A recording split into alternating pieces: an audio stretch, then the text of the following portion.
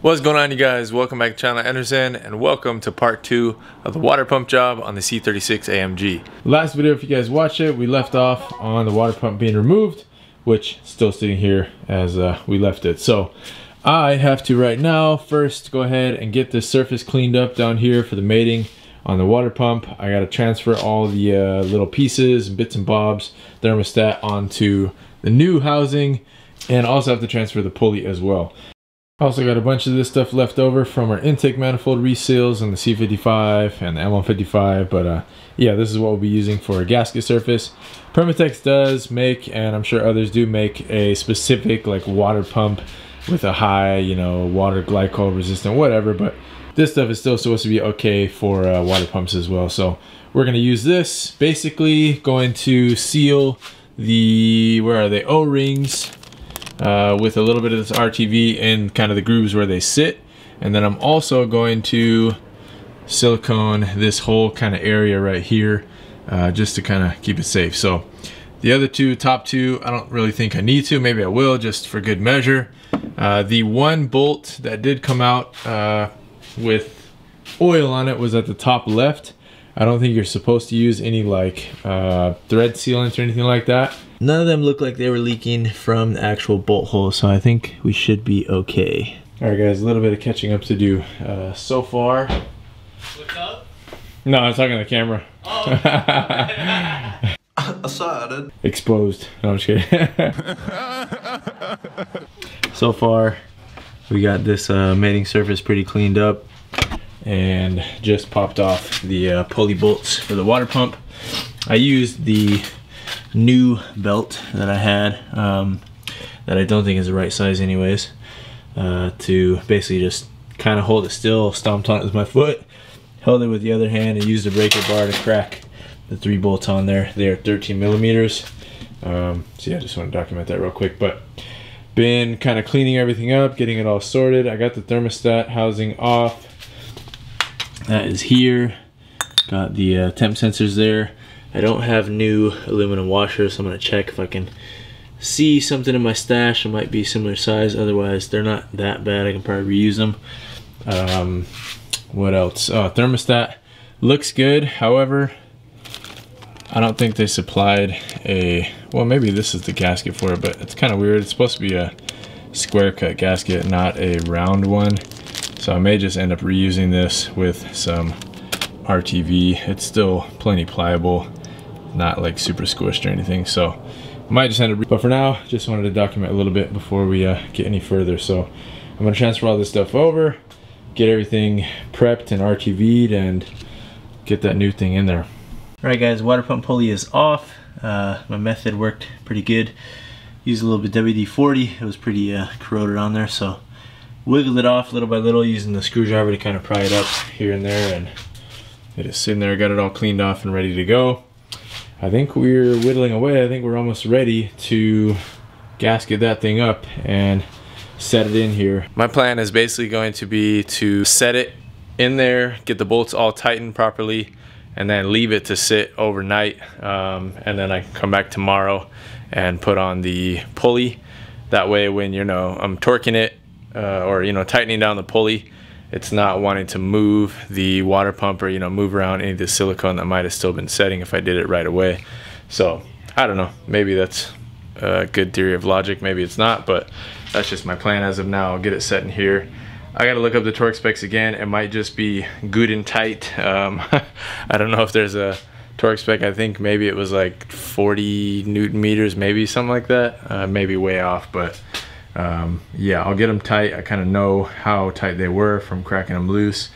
So I'll get them to that point and just let it seal. So still a lot of work to go, but I'm glad to be at this point. So thank you guys for going on the journey with me. One other thing before I forget, forgot to show you guys the hardware. Uh, these are M6 by uh, 1.25, I think. I can't remember. Um, but I did get Allen head. They're stainless steel, so I figure it's not going to be an issue uh, using the correct ball sockets. I got locking washers and regular washers. I'll probably just use regular. That's what was on there.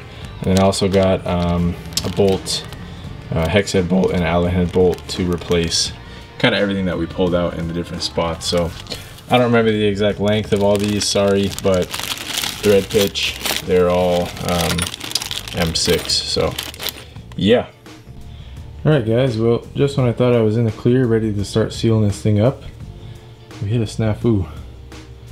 That port is not on water pump I have here. It's blinked off. So, I guess I gotta go to the hardware store again and uh, find a bolt to fit into there and blank it off.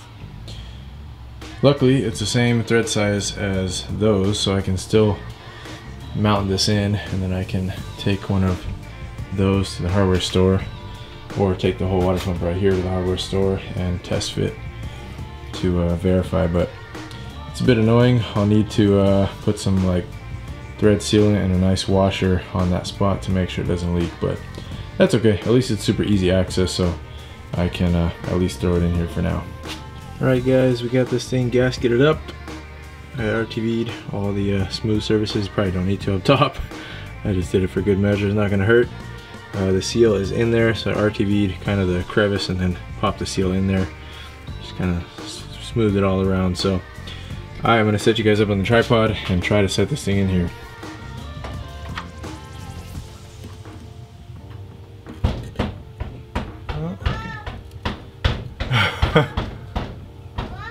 Yes?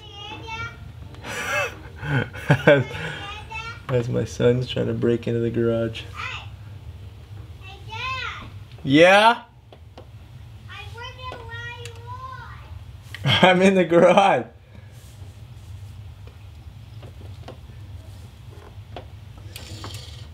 Oh boy.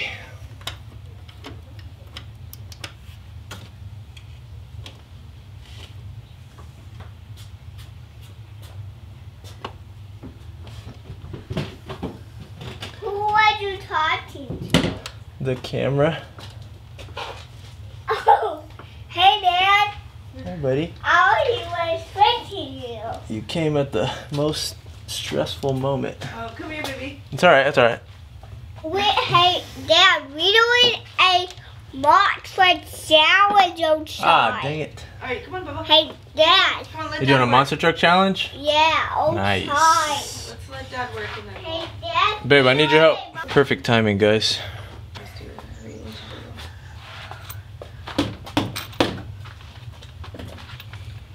Hey Dad. Yeah? We doing a mock for challenge outside. Monster truck challenge? Yeah, we're doing it outside. Nice, bro. Ooh, this is gonna be fun. Yeah. Baby, stay over here so where I can see you. Oh, right here. Right there. Sitting in the cellar right there. but- Hmm. Yeah, the front don't say and the back will say too. Okay. I don't want to check in this one battery. Hey Dad, I don't do Yeah, this one is going to be tricky. No matter what. Alright, life hack from my good friend Josh of Creative Steel. He just told me this trick today. Didn't think I was gonna need it, but turns out I think it might help right now. Put a piece of paper towel. That's what he recommended to uh, get a better grip on the bolts. So he was suggesting it for getting them loose, but right now I don't want to drop this thing. So I am going to use it to uh, try to get this down in here without dropping it. The trickiest part is the washer, to be honest. I don't want to drop the washer. See if I can get this on here. Whew.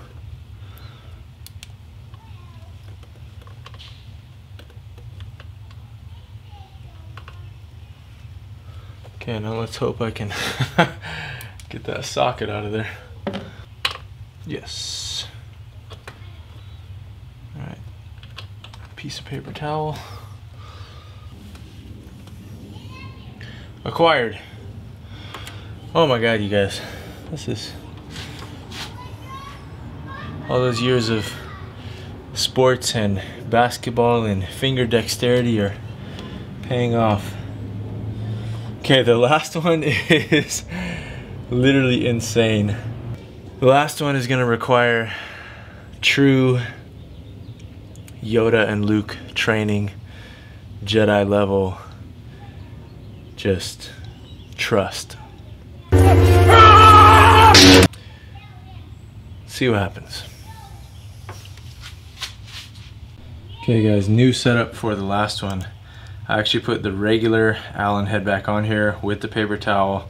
The ball head is moving around too much at the last bit to make me comfortable. And then I got two non-swiveling or non, you know, wiggling, uh, wobbling extensions. So, oh, here goes nothing. This is scary. Yes. No.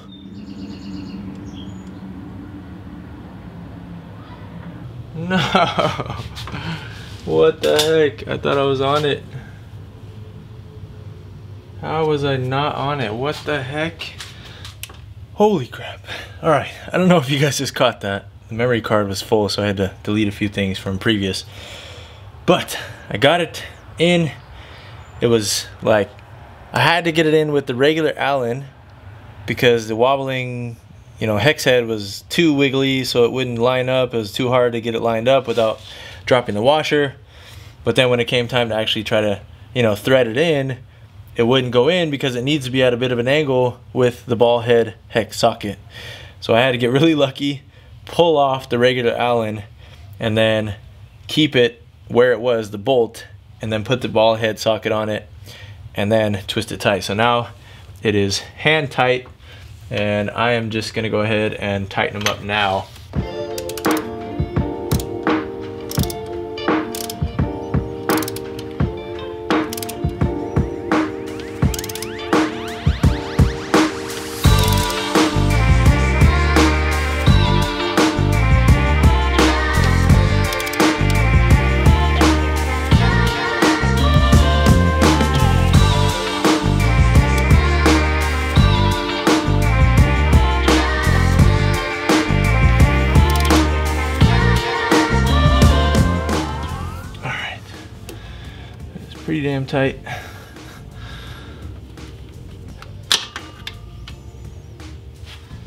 Sheesh. Okay.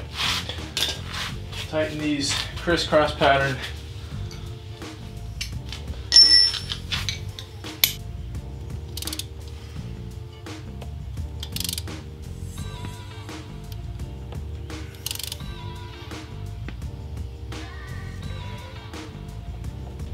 All right guys, we got the bottom left, top right tight. I'm gonna go for the bottom right and then the top left.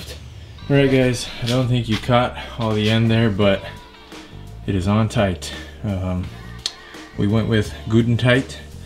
I'm not gonna bother with torque specking, something like that. Just try to make them all nice and tight and as even as I could.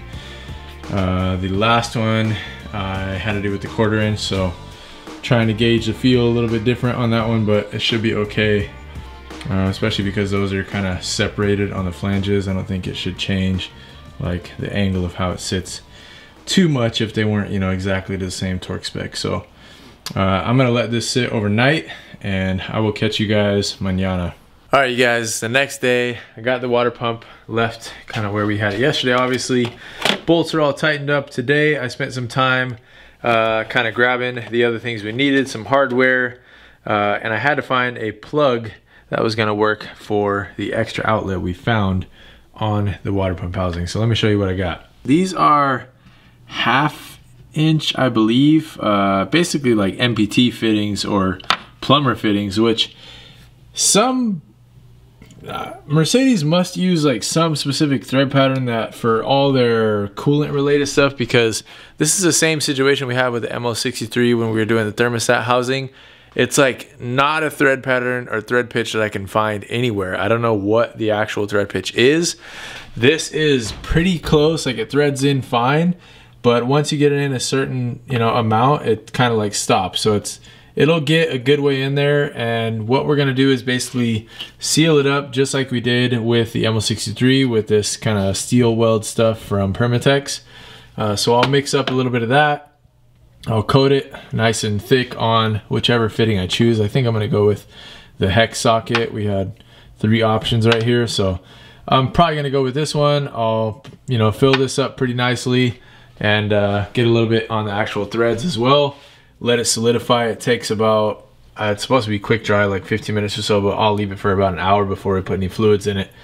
Once I get that sealed up, uh, we got our thermostat, we got the new O-ring for the uh, auxiliary pump tube, and then we have our housing right here ready to go. I was not able to find uh, new crush washers for the two sensors, but honestly, these are still in pretty good shape, so I'm not worried about reusing them. Uh, if anything, we can always replace those later on, really easy.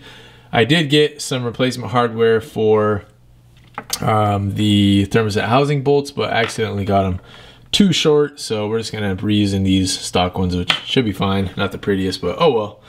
Uh, and besides that, we'll get everything back situated, get the pulley back on there, get the belt back on, obviously, get our fan, and we're pretty much good. From there, we can uh, fill it up with fluid. So, sorry, it's a little bit dark on camera, but yeah, that is what we're working with. Let's go ahead and get this job done. All right guys, that stuff's all mixed up. I'm gonna leave this out here so I can test when it's actually dry.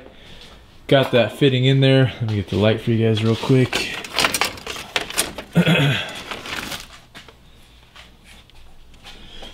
So that fitting is in there right there. Just kind of cranked it down to where I felt comfortable. And if you can see inside, see down in there, gray spot in the back, that's where it's sitting, so. All right, let's go ahead and continue on. I think I can uh, start getting the hoses situated at least. I will leave the thermostat off until I'm happy with uh, how that's cured so it's got some air on it. But yeah, get the coolant hoses back on, get our uh, fitting down there on the left side of the water pump for the auxiliary line and yeah, just chug away at this. Okay guys, pulley is on. I uh, put a little bit of blue Loctite on each one of the bolts and basically held it with the spare belt that I have kind of gripped it nice and tight and then just put the longest 3 8 ratchet I have and just crank them down as good as I could once the belt is on there and it's tensioned I'll uh, try to feel them out again see how they are but they should be good I got them pretty tight and with the Loctite they shouldn't really budge so uh, let's do that line and then get going with the next stuff Okay, that line O-ring is on. I put a little bit of RTV on it, more so just for like lubricant purposes, because this is pretty fat O-ring. So it might be a little bit of a struggle to get on here, but fingers crossed. All right guys, the auxiliary coolant line is on. I decided to make an executive decision. I'm not even gonna bother with the bolt that goes right here. I mean, this thing does not move. I have no idea why you would need that. Um, it's not like holding it in place at all. So it's plenty good where it is. Uh, I'm gonna save myself a headache if I ever need to take that off again. Uh, I'm gonna go ahead, route the belt now. Then I will get the coolant lines on and then the fans and got to do the sensor still, the thermostat housing, um, but we are getting close. If you guys need it again, there's the belt diagram. It's going uh, around the alternator, idler pulley, around the water pump, around the power steering, uh, around the AC compressor, around the crank. Then smooth side goes around the tensioner and around the fan, then back down to the alternator. So let's get it lined up.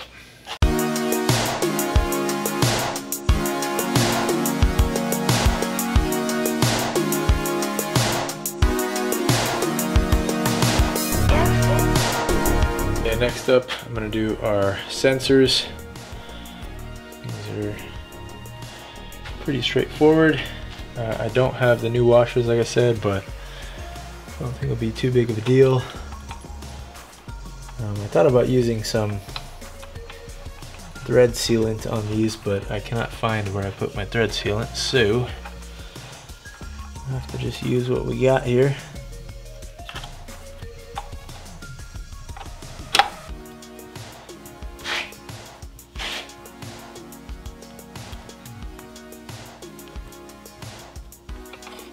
felt the uh, washer crush a little bit, so that should be good. All right, and there is a sequence, I would say, because if you do this one first, you're not gonna be able to tighten the back one. So do the back one first. That's the bigger one of the two. All right, should be good. All right, for the thermostat, I am using the O-ring they provided, uh, or O-ring seal, whatever you want to call it. And then the check valve, when I took it out, uh, was closest to the front of the car, so I'm going to position it in the same spot, and uh, fits in there nice and snug. So I'll go ahead and uh, tighten things up.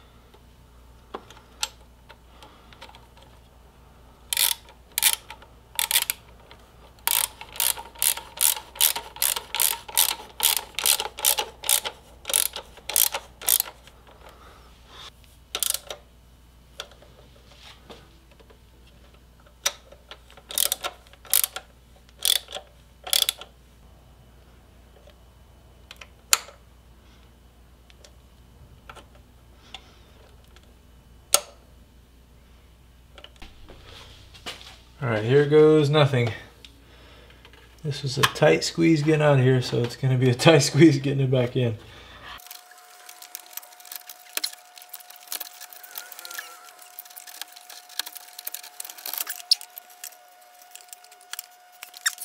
The fan is in. Now the tough part of getting the Allen bolts in. Not gonna be fun.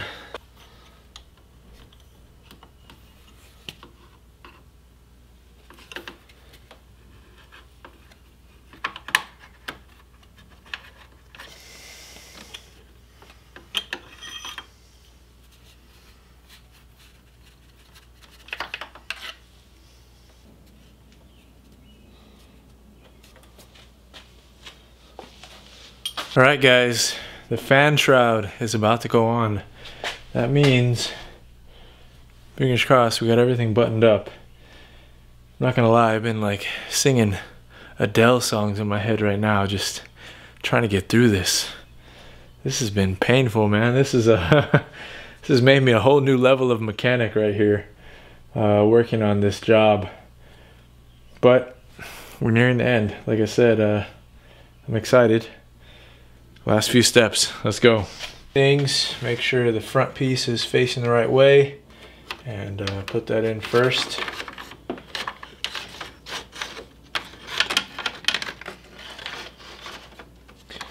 And you kind of just set that behind the fan and then snake your other piece in. Get these clips off of here since they'll be coming off.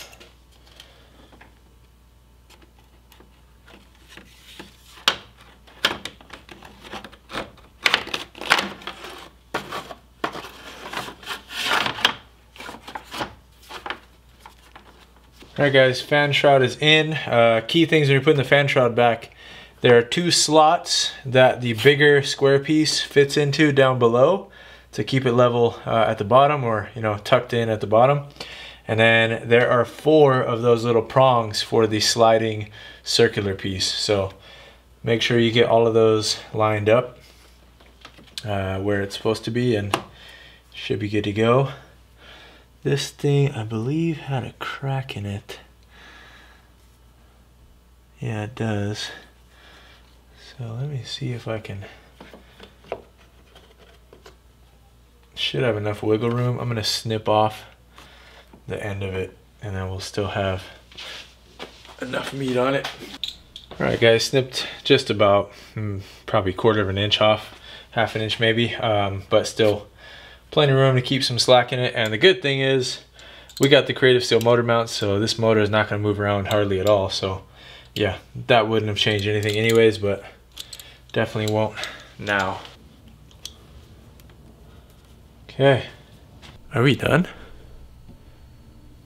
Is that actually it? Let's fill this thing up. Hopefully I got enough coolant. I can't believe this. I this has been a long project. Whew. Okay, let's double check everything and then I'm gonna fill it up. Right, I think we are ready to fill this thing up. Can't even believe this right now. Okay, all of everything is tight, hoses are tight. This should be plenty dry by now. Yeah, that is totally solid.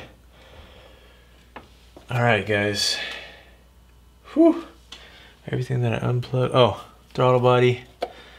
Definitely want to plug that back in.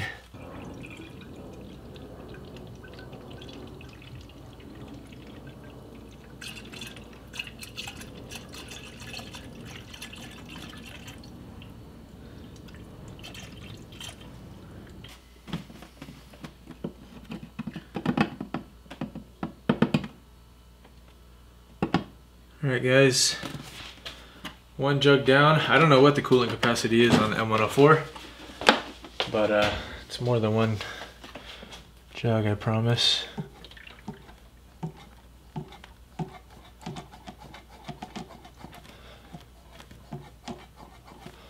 I'll have to look up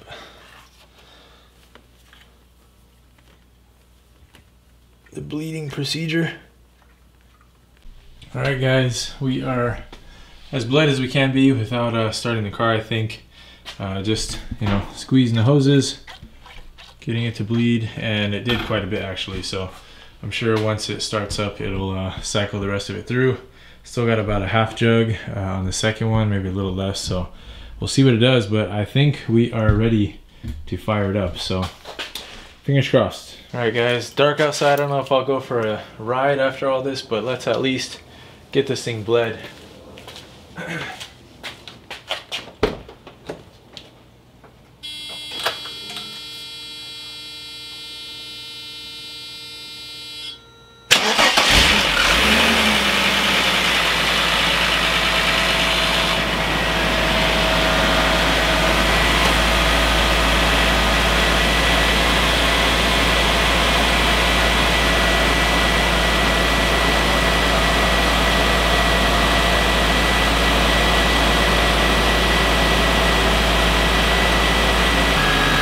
she fired right up. Good news. Let's get this thing bled.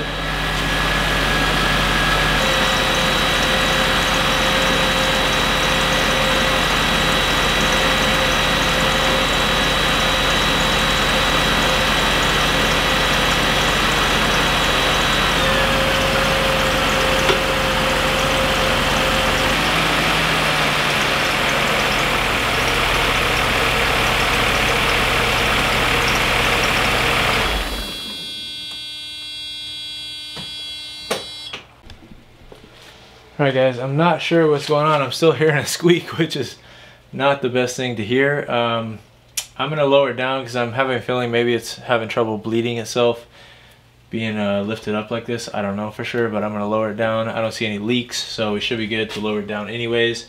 Uh, then I'll start it back up and see if I can get it to bleed all the way. Um, not really sure right now. Okay guys, take two. It's still on the wood blocks, but I'll back it up once I start it up. Got the ML63 out of the way so I can back it out and take it on a drive if need to.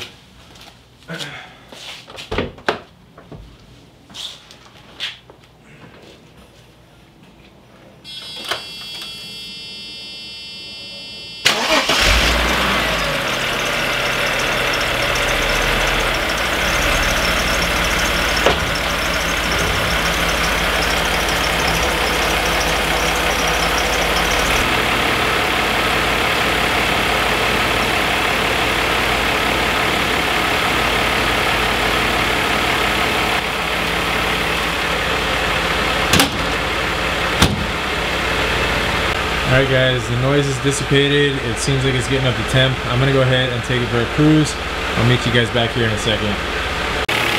Alright guys, we are back. Noise has dissipated completely. I will have to update you guys, I guess, once I start it again when it's cold.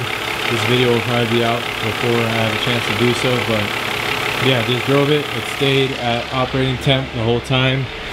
I'm gonna let it sit here right now and see if I can get the uh, fans to kick on just to confirm. But battery's about to die on the camera. This kind of wraps up the job. So I guess I will go ahead and end it there. Hopefully this has helped you guys, the last two videos, this one included. This is a big learning process for me, admittedly, um, but I'm proud of myself for getting it done and all by myself. A lot of times, like the bigger projects, I'll have Mike around to help me, which I'm very grateful for, but this one I wanted to try to tackle alone and we got it done. So that is it. Uh, I think we're gonna call it there. Let me know if you guys have any questions. I will update you guys soon with how it's doing and uh, get back to the fun stuff with this car. Till then, see you guys on the next one. Peace.